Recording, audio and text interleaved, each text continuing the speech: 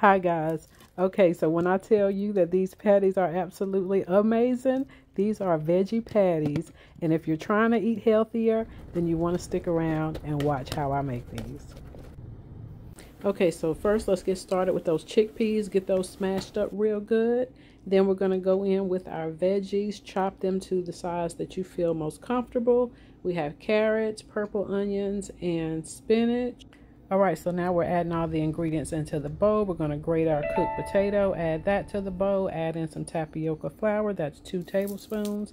Add in some garlic, lemon, all of the different seasonings. Um, you use what you feel is best for your taste buds, and then you just mix that baby up. Pat you up some patties and slide them in a pan. They cook up really well, guys, and I just wanted to kind of show you the the consistency and just show you they actually bind really well just based on the ingredients that I put in my veggie um, patty. So you, like I said, you can tweak this recipe to your liking.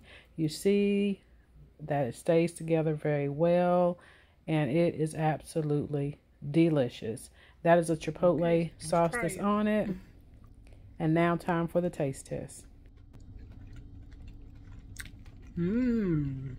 Mm-hmm. Oh my goodness. Oh my goodness. This is really good. Mmm. Really good and really healthy. Mmm. Please try this recipe. Very good.